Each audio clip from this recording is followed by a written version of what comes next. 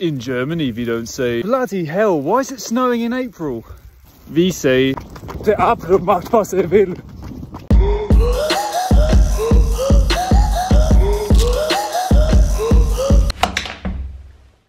Simonics, and welcome back to the fourth episode of our developer logbook. I actually just came back from uh, family breakfast, so that's why I'm kinda, well, kinda good today, right? Huh? I should do this more often. But of course, I'm not here today to give you styling tips. I'm here to talk about April 2020, 2020, something with a lot of twos in it. April this year was very interesting because I had very high expectations after our vacation and I arrived basically here, perhaps here, somewhere here. We're gonna talk about the reasons later, um, but of course there were also a few good things. So this was the month where I worked on hopefully the only consulting project this year. So I've got this old Ionic 3-ish application from like five years ago, which was basically my first client when I became self-employed. Every year there are a few changes to the project.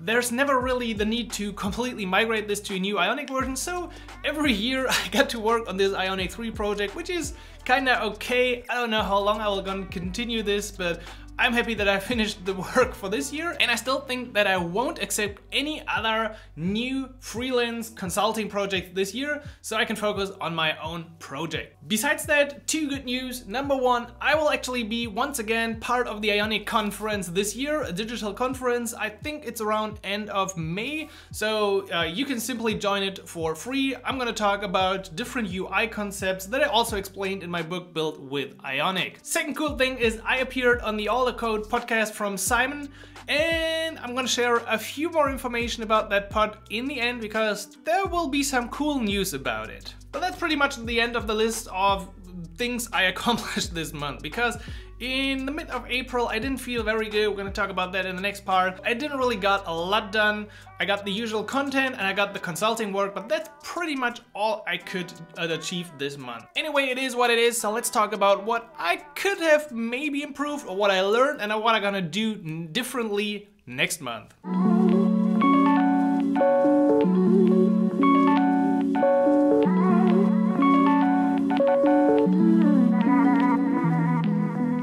Alright, let's talk about a few challenges. Number one, Presslytics, the SaaS I wanted to release in the first quarter is still not yet live. We have some problems with the speed of the application in the backend and therefore we just can't release it at this point. Challenge number two, I wanted to create a new project around Ionic. I kinda announced it already public. I got started with a little MVP, but at some point I just noticed that it's it's gonna take really, really a long time to create this. And I actually don't know why thinking about about this because I have all the time in the world, but for some reason I lost steam for the project, I lost the motivation right now. I don't know if I can ship it in a good possible way to build an MVP would take me at least, I don't know, 100, 150 hours. Maybe I would have to hire an uh, external uh, freelancer to create something for me. So uh, it's just not, it's, it's just not what I wanted it to be and it just feels not right at this time. Besides that, we had some family issues going on, which in the end also became physical problems. I was sick for about a week or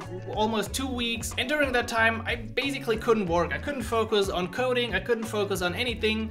Um, at that time also, it's kind of interesting. Whenever time's short, uh, you notice which of the things you usually do on a daily basis are the least important. So during that time, of course, posting on Instagram, posting on Twitter, posting on Twi TikTok completely went down and I didn't post anything. So these things are always pretty low on my list, although I usually think I enjoy them, but when time is short, you really notice what's important to you. But I also started to think about an interesting question, that is, what do I really want? Did you ever ask this yourself? What do you really want? Because whenever I look at other successful creators, I look at different YouTube profiles, Instagram profiles, I always think like, yeah, I, I would like to have that as well. But in the end, you can't be everything. So I can't be a content creator doing promotions, doing a lot of content. And on the other hand, I wish that I had a successful SaaS application. So this just won't work. And therefore, I have to ask myself, what do I really want? And in the end, for me, the answer is I like to create content and I always will create something, but I don't want creating content to be like the heart and the core of my business. I want to have something real, like a real SaaS application, a real successful online business. Because then I'm not always the face. If I'm sick for two weeks, that's usually not a problem if you have a team. But if you're a solo creator and you can't create content, well, then you're pretty much so try this exercise yourself right now if you want to pause this video and ask yourself what do you really want to become in like 5, 10 years? How do you want to make money? How do you want to live?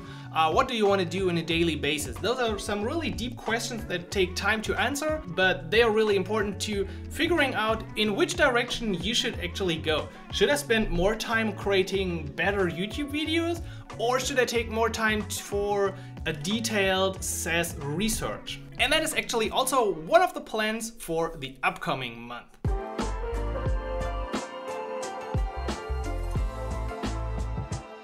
To wrap up this developer logbook, let's quickly talk about my next plans, because for the future I got some interesting things planned. Number one is I will join the All the Code podcast as a co-host next to Simon. So it's gonna be Simon and Simon doing the All the Code podcast in the very near future. I'm very excited about this because I always wanted to start a pod, but I never really had enough ideas, I didn't know about the technology, so now I can join Simon who already started their pod a while ago and we will talk about interesting topics related to uh, learning to code, getting into coding, but also about all the latest trends, Web3, crypto, everything uh, in a format which will be both entertaining and also informative. At least that's what we see for the pod. Let's see how it goes. We will definitely also bring in some guests in the future. Hope you'll enjoy it. I'll definitely also share the URL to the pod in the future again. Besides that, I will also work with Simon on a little project that he already started uh, that we just want to finish. I hope this is at least one project that we're gonna ship in May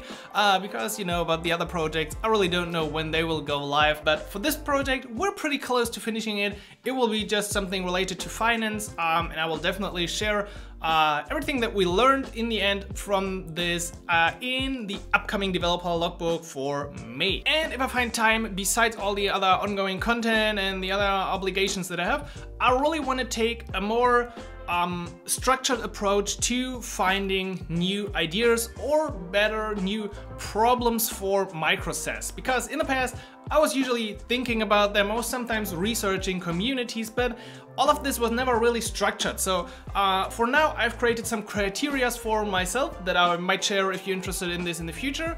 And I want to get into different communities and see if I can somehow find problems or I can go uh, check out bigger players in the market using something like G2 reviews and just try to unbundle something that is popular in a space.